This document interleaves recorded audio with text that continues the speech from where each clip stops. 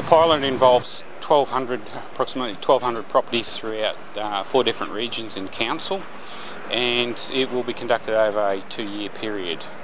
We, we selected four uh, areas for trial, so Bundaberg CBD, Burnett Heads, Childers and Gin Gin. So a lot of these were coming up for replacement anyway. So the meters that we've installed should have a 15 year life.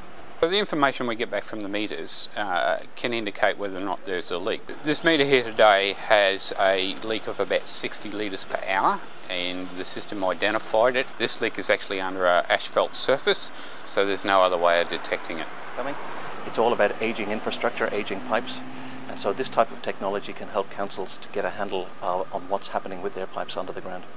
It's a Honeywell V200 HT meter and it's somewhat unique in that it's the first of Honeywell's meters to include a Taggle radio. One of the first things that will happen is council will be able to see within a couple of days where there are any existing customers' leaks. We have had occasions in other towns and cities where people have had water leaks uh, underneath their houses, concealed leaks, uh, which just erode away at the foundations of the property.